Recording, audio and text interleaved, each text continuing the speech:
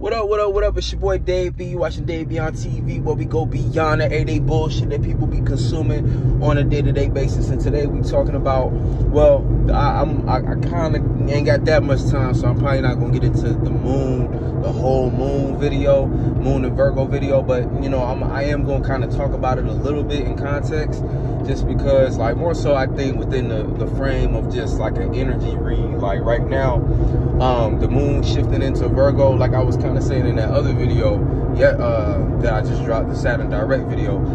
Um, moon in Virgo, sun in Scorpio. This is an opportunity that we all need to take to clean up things uh, in our pertaining to our deep passions, clean up things pertaining to your behind closed doors, clean up these things. Like, you know, Virgo is about cleanliness.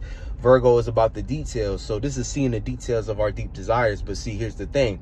You have to be in a position to be able to, to discern these things and determine whether or not, discern whether or not these are things that you want to be seen for, known for. Um, because in a lot of ways, you know, we still got Pluto uh, making its way into uh, Capricorn. And so this energy is like, in a lot of ways, giving you a precursor to kind of what Capricorn season could look like.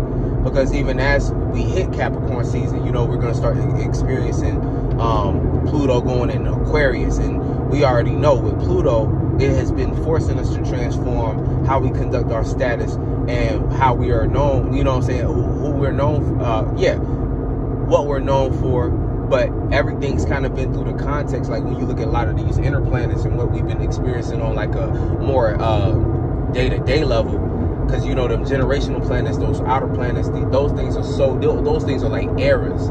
Those things are like you know these are large periods of time that that represent like you know generations and the difference between certain generations and what they were focused on right?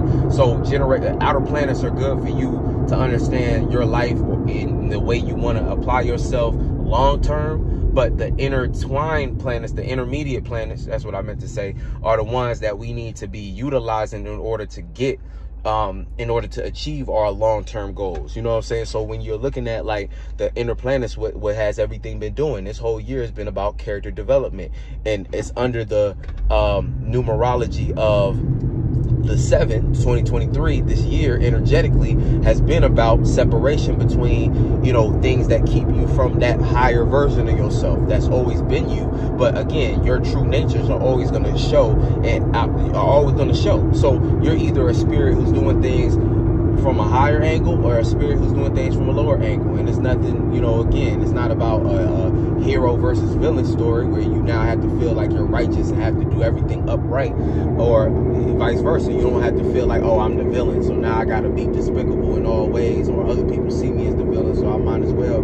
That's just egotistical bullshit that humans get into based upon them um, being too attached to their to their thoughts and feelings, you know what I'm saying, and try, trying to identify as those things because as a spirit, it takes a lot of responsibility and accountability to assume responsibility for whatever you produce as far as thoughts and feelings go that lead to actions and decisions you make. So a lot of spirits down here in in these bodies don't want to assume those responsibilities yet. So they play out as childish spirits. They don't want to assume that responsibility. They don't want to take accountability. So their life becomes victimhood. They start to point at everything outside of them as a reason why they're not where they want to be or why they do the things they do that's not you know what i'm saying? All these different kinds of things. Now going back to what i was saying about the moon and virgo it's the opportunity between the moon reacting and responding to the details of what of what we're looking at the deep dark and uh, passions or, our ulterior motives, others' ulterior motives, and things of that nature. So,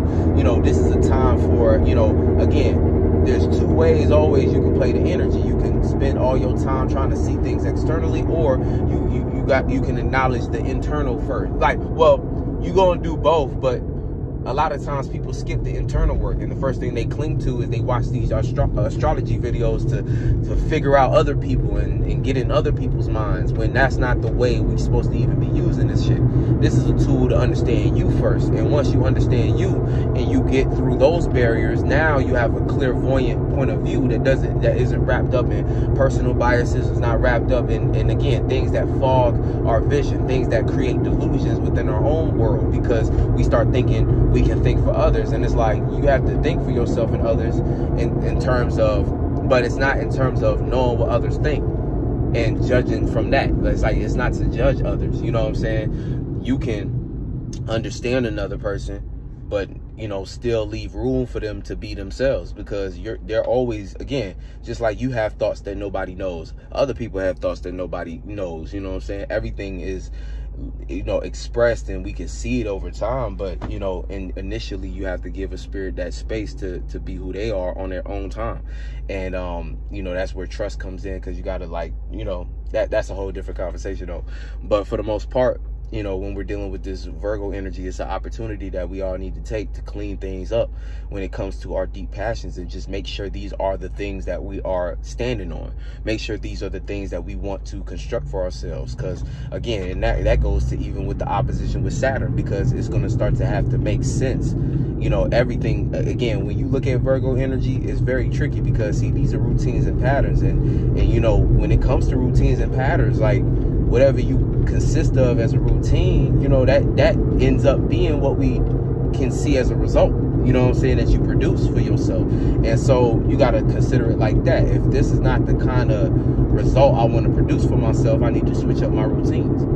Simple as that. You know what I'm saying? So, you know, but it's going to be tricky because, see, this is a sextile energy. So you might think that you are getting over. You might start to feel as though you got some kind of power over others. You might take this energy and go the complete wrong direction of manipulation and trying to construct different thought forms and feelings that you can con continue to abuse in order to get your way in situations. And that's going to come back to bite you in due time because when we hit the new moon, right? The new moon in Scorpio um, is going to force us to, because uh, we're going to have that second new moon in Scorpio, that's going to force us to, uh, it, it's kind of like you're going to need to have refined your deep passions and things of that nature. You're to, the things behind closed doors, all those things that, you know what I'm saying, that, that you need to take power and control over, those things are to be on the surface. It's to be a new moon in that Scorpio energy, which again could lead you down to sparking something negative. Like, because again, even with the new moon, right, we look at it and with the new moon energies, it's like if it's to be in uh, Scorpio, it's to feel almost like a full moon. It's to feel almost like, you know, everything being um, exposed or everything being put on, on, on full blast. Energies are going to be high and you know that's kind of different for a new moon usually new moons there's a concentration of energy but it's more so everybody trying to put themselves in the position to start the energy with the with the full moon with the new moon in um, a sign where it falls scorpio is going to have to figure out a way to kind of overcome its natural disposition to where the moon is at. It's going to have to figure out a way that it can overcome some of those difficulties that interact with it. You know what i'm saying? So when you look at you know these energies what I mean, and, and, to get even clearer with that, like what I mean is, you know, it's going to be a new moon in Scorpio, so there needs to be new desires that you have, right?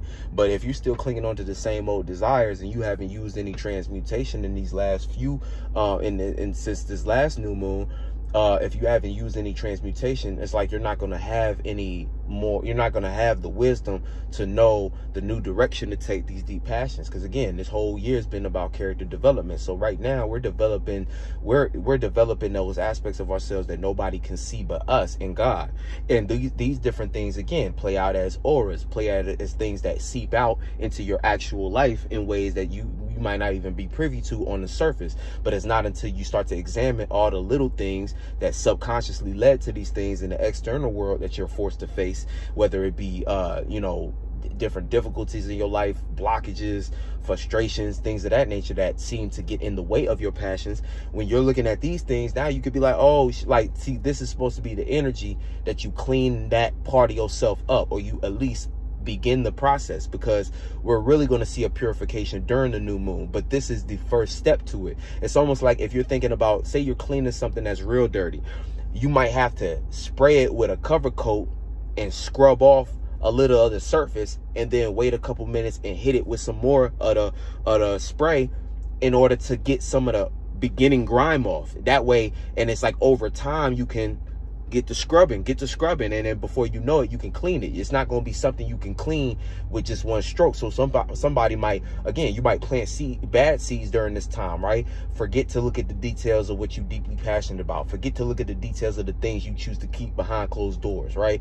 Ch choose to to neglect these things, right? Choose to still be in la la land about it, still dream about it, let your feelings and emotions take you wherever they want to take you what's going to happen is when the when the new moon comes you're going to have to do extra work in order to get that grime off versus a person who started doing the work now to clean that stuff up. Now they can actually utilize the energy of the new moon for what they want to do and not just be um not not be um, and, um slowed down by things that they could have did earlier that make their life easier in the present. They still might be on the track to plant a okay seed, but you know, again, everything in life is like we gotta want to improve ourselves. We gotta want to we gotta want more for ourselves. You know what I'm saying? So that's what it comes down to. It's like you gotta want more for yourself, and you gotta actually strive for. Um, you know, strive for better. But not everybody see it that way. Not everybody want to do that. So, you know, I mean, to each their own. But you know, that's the thing. We gotta. You, you should want to at least at least strive for better. You know what I'm saying? Like, I mean, but to each their own. Like, I'm not here to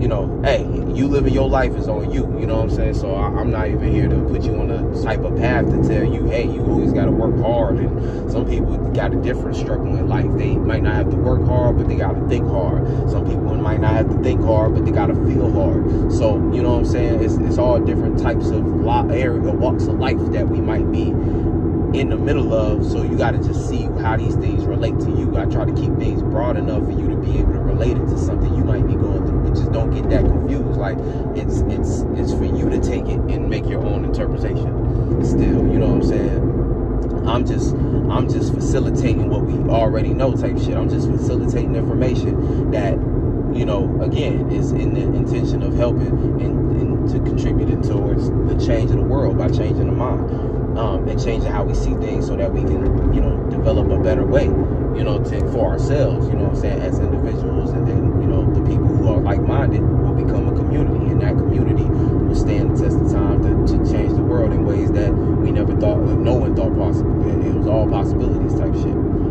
But um, you know, when we, we, yeah, so use this energy now and then see what's gonna happen too. The moon is gonna slide into Libra. So that's gonna be about justice and balance and things of that nature. So think about it like this. You clean things up now, you have a better chance of creating balance before we get into the and, and see it's almost like judgment day a little bit. The new moon is gonna feel like judgment day. Those of you who start spark the new moon with the wrong deep intentions, the wrong ulterior motives, the wrong deep passions, y'all, and, and I'm, i specifically mean people who are doing it based upon, you know, demonic reasons, aka they're trying to get something on an individual and feeling like you lack, so you're trying to overcompensate certain energy. You know, again, this is the season that people start to think and get ideas of, ooh, who should I rob? Ooh, what what should I steal? Ooh, what should I lie about? Ooh, what should I? And see, you might have got a, got a little buzz going through Scorpio season. You know what I'm saying? Scorpio season. So of course you got a little buzz off that shit maybe. But you need to understand like, okay, well, let me, you know what I'm saying? Let me, let's time to transform because we're, we're about to enter the Phoenix. I think we're in the second decan of, yeah, we're in like the second decan of Scorpio. So that needs to look like um, the next water sign, which is Pisces. We need to be a little more, um, you know, a little more,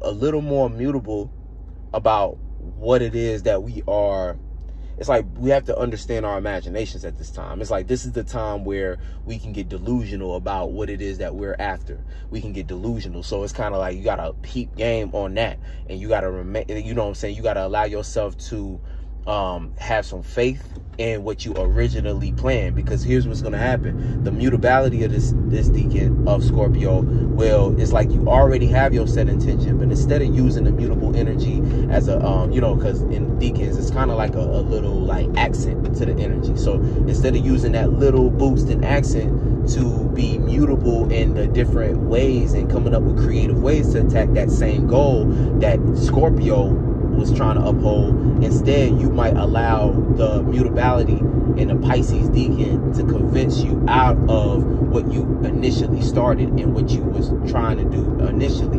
So you disintegrate everything that Scorpio was trying to get fixated on, and it results in a very confusing outcome because it's almost like you switched up before you could see what you started benefits you. And it's like you kind of just it, it, could be lazy energy or it could just be you doubting yourself. You know what I'm saying? You really doubting yourself, and so you created imaginations that went in a in a negative direction or opposite direction there. What could have actually been beneficial for you. So you don't want to put yourself in that kind of position. You want to make sure you're always forthright, and you, or you're you want to make sure you're putting your best foot forward when it comes to those. Or I'll say this: you want to make sure that you're staying consistent. Like uh, like uh, this is very much anchoring energy. We need to be anchored, even though we in the Pisces Decan of Scorpio, that passion needs to be anchored, you know, but we can use Pisces to now give us an array of different imaginations that we can use to apply to those things, also use to help encourage us through this time because things ain't easy, but that's where our mind and our emotional intelligence comes in. Like whenever we're going through a water transit, it's all about using what you feel to your advantage, even if it's negative, find and, and the best part about um Scorpio is that it's about transmutation. So you're gonna go through darkness, but it's about how you can transmute it. Cancer is even cool because it's the initiation of a new feeling, regardless of whatever you feel outside of you. But that that takes a lot of courage as well. And then, but the, one of the hardest seasons, I mean, can potentially be Pisces if you are on a train of thought that, or uh, you in a feeling that you know is allowing is is causing you um self-harm it's causing you mental illness aka is something that is making you uh doubt yourself and things of that nature. Again delusions. It's, that's the main thing about pisces season. That's what makes it tricky. It's not an initiator of water. It's not a transmuter of water. It's a uh a consumption of water or an absorption of water in ways. So a connection to water. So it's, it's a lot different in, in Pisces season than it is the other two water signs and on a difficult tip. But you know, nonetheless, you know, it's all it's all things that we can do. You know, the fact that we do know what's going on is is enough to to at least put us in the right um put us in the right direction. So, you know what I'm saying? That's just what we need to keep on our minds and and and you know, yeah. But anyway, I got a dip. Much love. I'll catch you on the next one. Peace.